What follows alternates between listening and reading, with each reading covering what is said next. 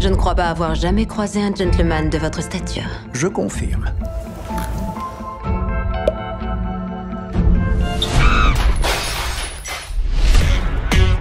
On a un problème. Tant mieux.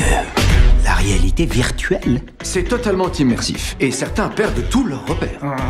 ça n'arrivera pas.